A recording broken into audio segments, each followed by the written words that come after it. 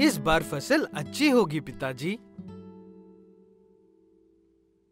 इस बार फ़सल को अच्छा होना ही होगा बेटा मनोहर। अब तक दो बार कर्जा ले चुके हैं। जमींदार का स्वभाव अच्छा है इसलिए वो कुछ नहीं कह रहा है। ये है मनोहर और वो उसके पिता सूर्यकांत। दोनों ही किसान हैं और बिना किसी की मदद के खुद ही अपने खेत के सारे काम करते हैं। पिछले साल बाढ़ की वजह से सारी फ़सल पानी में बर्बाद हो गई थी। इसलिए सूर्यकांत चिंता कर रहा है कि अगर इस साल भी बाढ़ में फ़सल खराब हो गई तो सूर्यकांत और उसके बेटे की सारी मेहनत बर्बाद हो जाएगी और वो दोनों कर्जे में डूब जाएँगे। फिर से बादल छा रहे हैं। मैं जाकर खेत में से पानी निकलने का रास्ता बनाकर आता हूँ। तब तक तुम गायों को चारा डाल दो। लगता है कहीं जा रहे हो सूर्यकांत। सब ठीक तो है ना? ऐसे अचानक से जमींदार आते ही सूर्यकांत डर जाता है। लेकिन जमींदार ऐसे ही एक पुराने दोस्त की तरह बात करने के लिए आता है। बादल छा रहे हैं खेत में, वही जा रहा था। तुम सच में बहादुर हो, सूर्यकांत। पिछले साल के इतने बड़े नुकसान के बावजूद फिर से फ़सल उगा रहे हो। आधे से ज़्यादा किसान इस साल मजदूरी ही कर रहे हैं। सूर्यकांत कहता है कि नुकसान के डर से खेती छोड़ देंगे तो बाद में खाएँगे क्या? किसी को तो ज़िम्मेदारी लेनी चाहिए। जमींदार सूर्यकांत की बात सुनकर खुश होकर वहाँ से चला जाता है। सूर्यकांत भी अपने औज़ार उठाकर खेत में चला जाता है और हर तरफ़ से पानी जाने के लिए रास्ते बनाता है। ऐसे सूर्यकांत और मनोहर दिन रात फ़सल के पीछे मेहनत करते हैं। फ़सल पूरी तरह से तैयार हो गई है पिताजी। हमें जल्दी ही फ़सल की खेती शुरू कर देनी चाहिए। हाँ बेटा, हम कल सुबह ही सारी फ़सल काट लेंगे और कल ही मंडी लेकर जाएँगे। इसीलिए सुबह जल्दी उठना। ऐसे कहते हुए दोनों बाप बेटे खाना खाकर सो जाते हैं। आधी रात होते ही तेज हवा के साथ जोरों की बारिश शुरू होती है। सूर्यकांत उस बारिश में भी खेत में जाने के लिए तैयार होता है।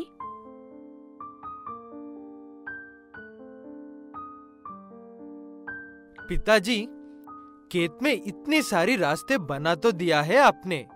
अब इस बारिश वहाँ पर जाने का क्या फ़ायदा? बारिश के थमने का इंतज़ार करते हैं। जैसे ही बारिश थोड़ी सी कम होगी हम पहले खेत में जाएँगे। ऐसे कहते हुए मनोहर अपने पिता को रोक लेता है, लेकिन वो बारिश कम होने का नाम ही नहीं लेती है। इंतज़ार करते करते सुबह हो जाती है, लेकिन बारिश कम नहीं होती है। इसलिए चाहे जो भी हो, कहकर मनोहर और सूर्यकांत खेत में छाते पकड़कर जाते हैं। हवा और बारिश इतने तेज थी कि उसके छाते रास्ते में ही फट कर उड़ जाते हैं।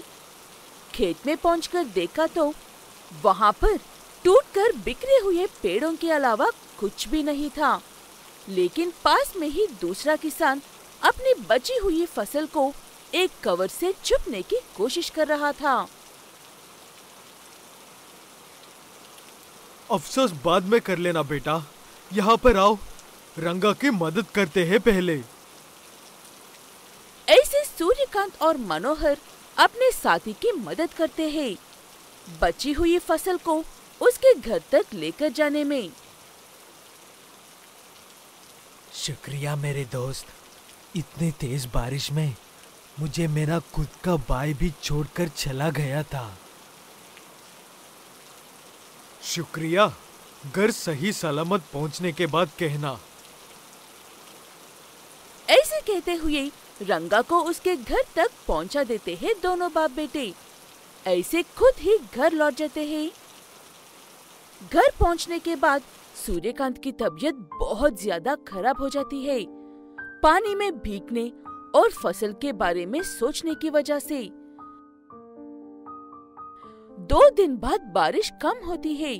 बारिश कम होते ही मनोहर जमींदार के पास नौकरी शुरू कर देता है और उस खेत को बेचकर अपने पिता का इलाज करवाता है और जमींदार का सारा कर्जा लौटा देता है। ऐसे बाढ़ की वजह से एक किसान पूरी तरह से हमेशा के लिए हार जाता है। पवन कुमार एक दसवीं कक्षा का लड़का है। पवन बिना आगे पीछे सोचे, अपने मन में जो आए बोलता रहता है और ये कभी नहीं सोचता है कि उसकी बातों से सामने वाले को कितना तकलीफ़ होती है।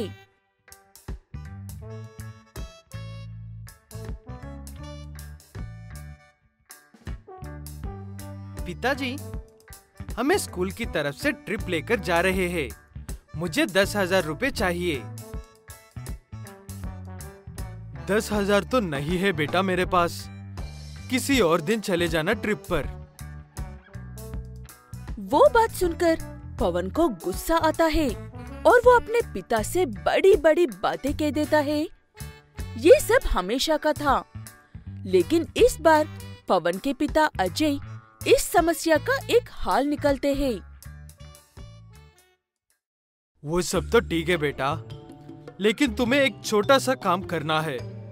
किचन में कुछ कांच की ग्लासें हैं। तुम्हें जब भी गुस्सा आए हर बार एक ग्लास तोड़ दो और जो वजह है उसे एक चिट्ठी पर लिख दो।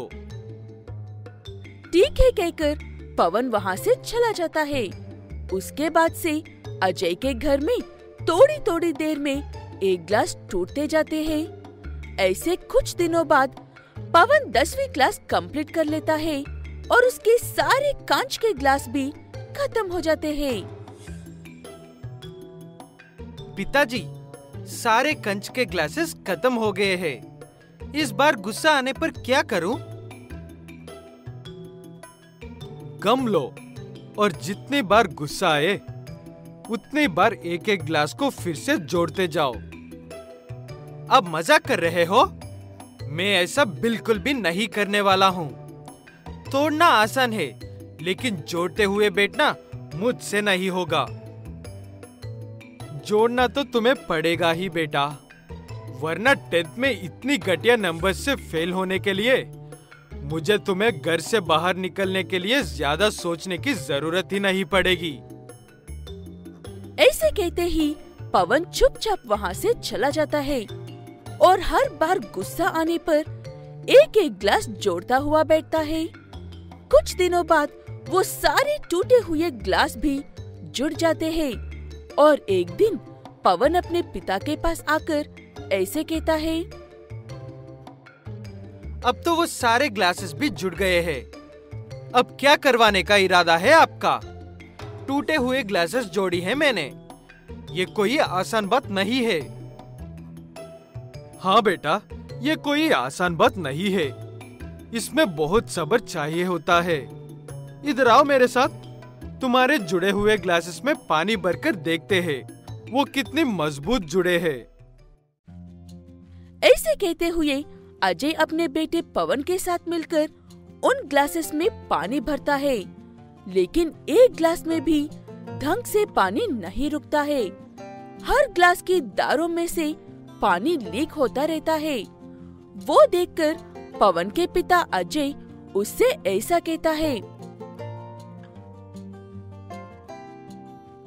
ये ग्लासेस तो जुड़ने के बाद भी किसी काम की नहीं है। कैसे ठीक किया है तुमने इसे? शायद तुमने पूरी कोशिश नहीं की थी। क्या बात कर रहे हो पिताजी आप? पता है, ये केक ग्लास को ठीक करने में मेरा पूरा दिन बीत जाता था। और आप कह रहे हो कि मैंने पूरी कोशिश नहीं की? बुरा लग रहा है ना?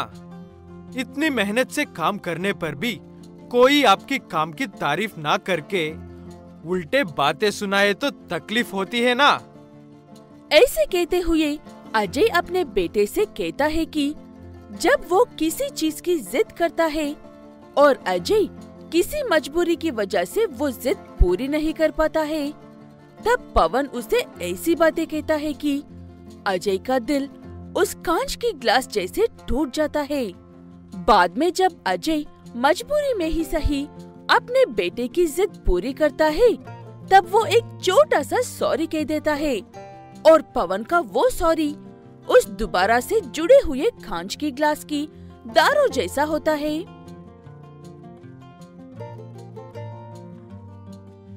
तुमने गम से ग्लास तो जोड़ लिया और सॉरी कहकर मुझे मना तो लिया, लेकिन वो दोबारा जुड़ने वाली ग्लास किसी काम की नहीं है। ना ही तुम्हारी सॉरी किसी काम का होता है। ये आखिरी बार मुझे माफ़ कर दो पिताजी। आज के बाद आप जो कहेंगे मैं वही करूँगा। मुझे पता नहीं था कि किसी को इतनी तेज पहुँच सकती है। अजय कहता है कि कुछ कहने या करने की ज़रूरत नहीं है। जैसे हो, वैसे ही रहो। और बात करने से पहले एक बार सोच लो कि क्या बात कर रहे हो। कहीं तुम्हारी बातों से आगे वालों को तकलीफ़ तो नहीं होने वाली है। तब से पवन अपने पिता की बात सुनकर अच्छे से रहने लगता है।